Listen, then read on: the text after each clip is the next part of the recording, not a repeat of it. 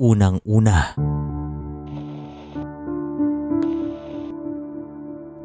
Ang ilan sa mga Pilipino ay mahilig sa mga kwentong kababalagan. At mayroon akong ikukwento.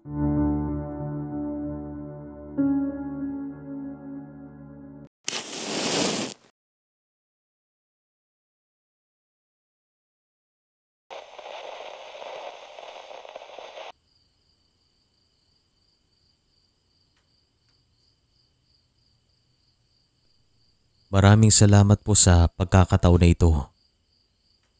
Dati po akong kasambahay sa bahay ng kaibigan ng aking tiya.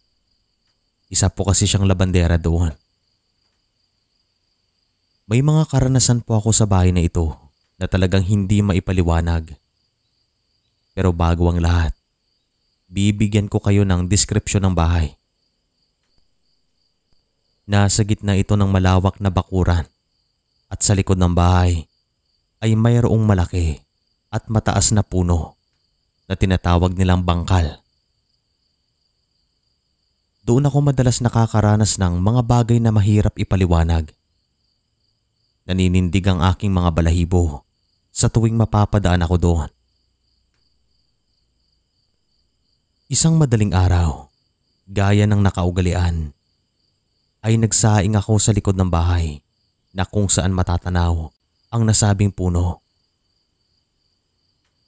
Pasulyap-sulyap ako doon kasi yung pakiramdam na parang may nakamasid mula doon kahit na alam ko namang ako lang ang tao doon. Alam ko nang ilan sa inyo ay nakakaramdam din ng ganito. Maya-maya lang ay nakarinig ako ng malakas na pagaspas na nagmumula sa ibabaw ng puno. At syempre, ang unang inisip ko ay mayroong ibon na dumapo doon at mukhang naglalaro.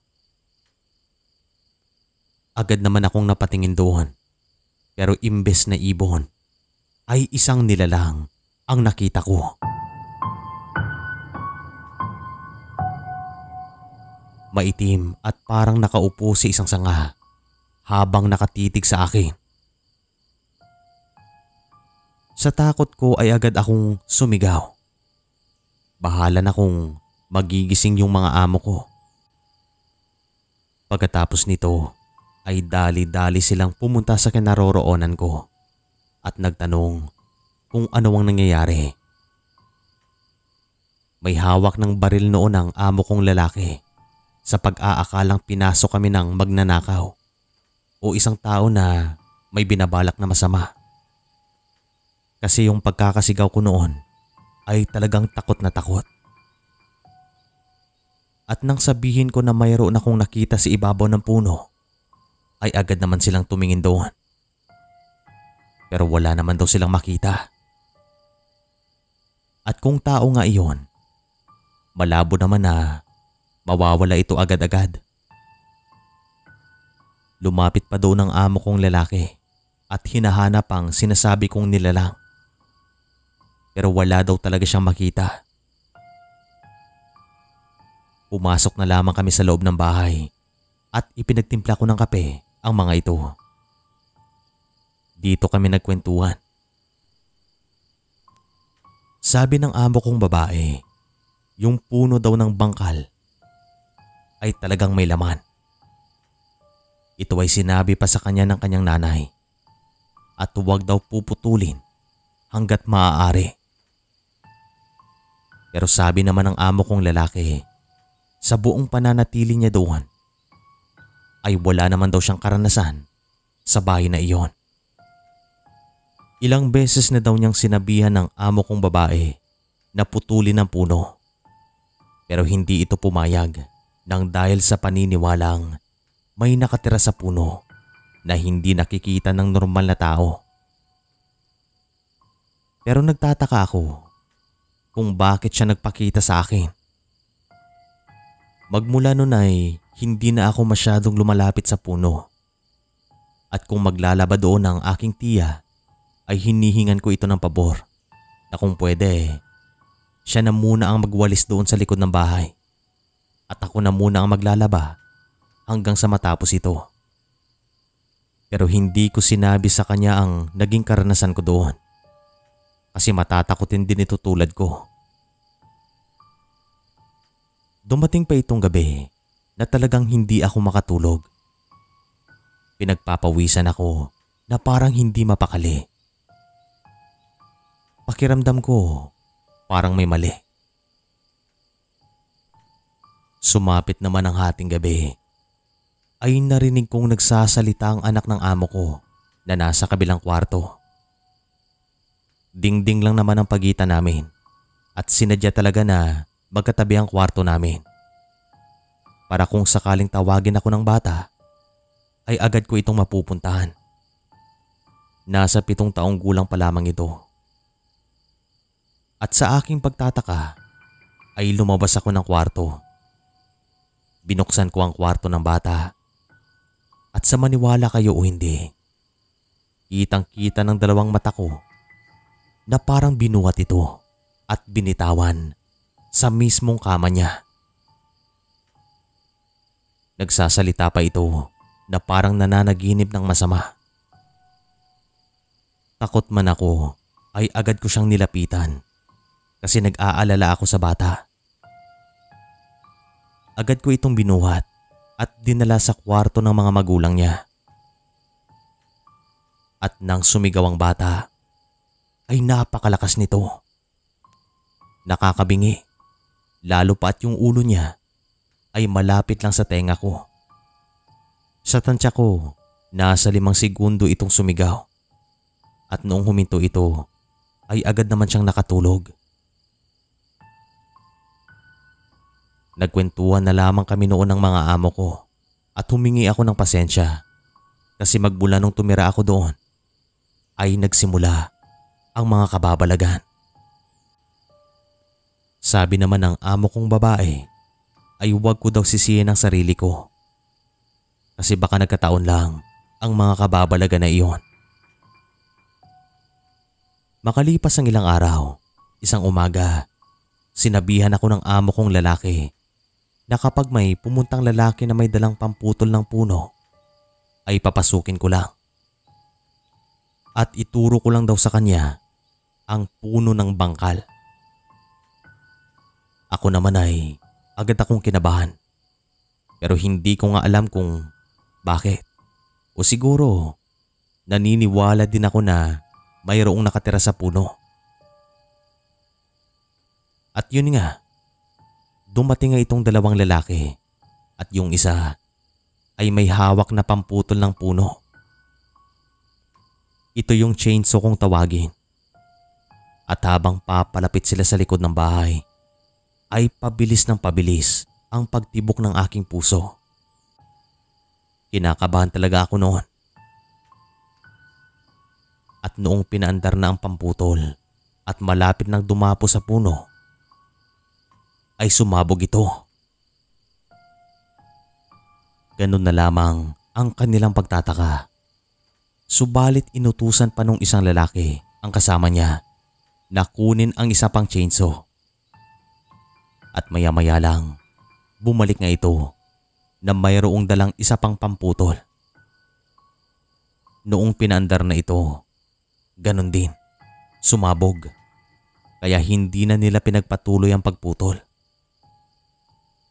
Ipinagluto ko na lamang sila ng merienda at tumambay kami sa harap ng bahay.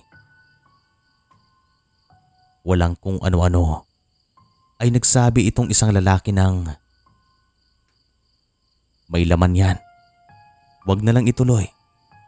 Sabihan mo yung amo mo at saka hindi naman sumasagabal ang puno. Sa lahat ng puno na ipinaputol sa amin ay dito ako kinilabutan. Sabi niya at hindi na lamang ako nagsalita. Pagkatapos ng merienda, sa paglabas namin ay nakita ko ang isang lalaki na tinitignan ng isang pamputol. At agad naman niya itong pinaandar. Sa maniwala kayo o hindi, ay gumana ito at agad siyang nagsabi ng Kita mo, Tama nga ang aking hinala. Sabay tingin sa akin. Sinubukan pa niya ito sa isang kawayan at naputol naman. Ganon din ang ginawa nila sa isa pang pamputol at gumana din. At nang makaalis ng mga ito, ay agad kong niligpit ang kanilang pinagkainan at tumungo ako sa kusina para hugasan ang mga ito. Habang naghuhugas ay hindi ako tumitingin sa puno kasi baka ano ang makita ko. Subalit ramdam na ramdam ko na mayroong nakatayo sa aking likuran. Nararamdaman ko ang kanyang presensya pero hindi talaga ako lumingon. At nang matapos ko ang paghugas ay naglakad ako papuntang lagayan ng mga pinggan. Nakatingin lang ako sa lupa at nahahagip pa ng paningin ko na mayroong mga paa na sumusunod sa likod ko. At nang mailagay ko na ang mga pinggan ay agad akong tumakbo papunta sa harap ng bahay. Doon ako tumambay hanggang sa dumating ang aking tiya kasi mayroon din siyang mga damit na lalaban sa araw na iyon. Sumapit ang hapon nang makarating yung mga amo ko ay nagtataka ang mga ito kung bakit nandoon pa rin ang puno. Dito ko naman kinuwento ang mga pangyayari at kahit sila ay hindi makapaniwala. Sabi pa ng amo kong lalaki, kung ganon, siya na lang daw ang puputol sa puno. Medyo galit ito at kami naman ay tahimik lang. Kinagabihan, mga bandang alas tres ng madaling araw, ay nagising ako sa sigaw ng amo kong lalaki. Ako naman ay dali-daling lumabas at kinuha ko muna yung bata. Nakita ko na ang amo kong lalaki ay pawis na pawis. Hinahabol ang kanyang hininga at mukhang nananaginip ng masama. Ginising namin ito, subalit patuloy pa rin ito sa pagsasalita hanggang sa sumigaw ito ng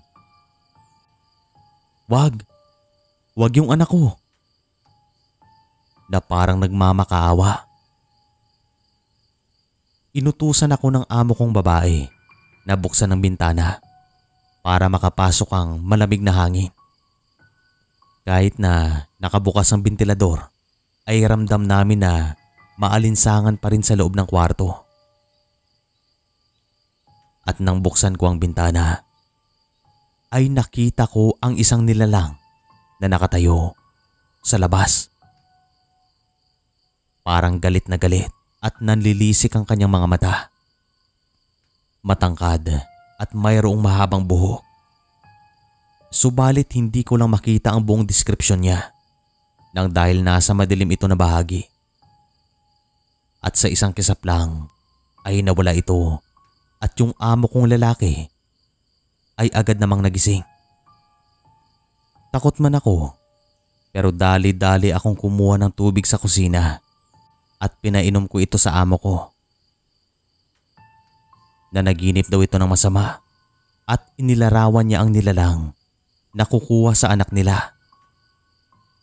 At masasabi ko na tugmang-tugma ito sa nakita ko sa labas ng bintana. Hindi na lamang kami natulog noon at sabi pa ng amo kong lalaki. Totoo nga na mayroong nakatira sa puno ng bangkal. Sobrang sama daw ng kanyang panaginip na parang totoo na kinuha ang kanilang anak.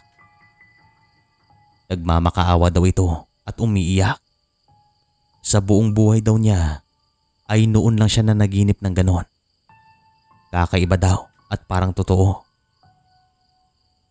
Sinabi ko naman ang tungkol sa nasaksihan ko sa bintana.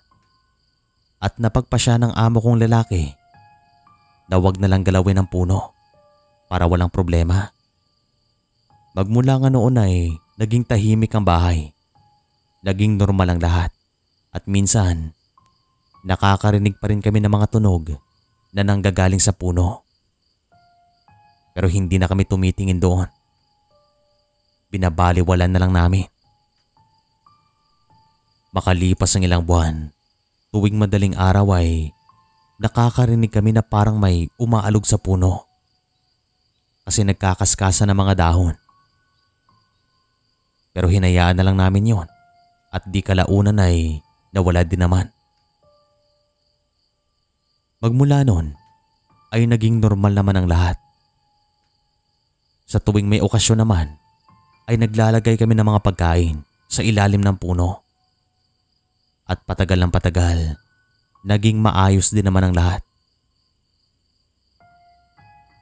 Naging kasambahay ako doon sa loob ng sampung taon at naging malapit sa akin ang pamilyang ito.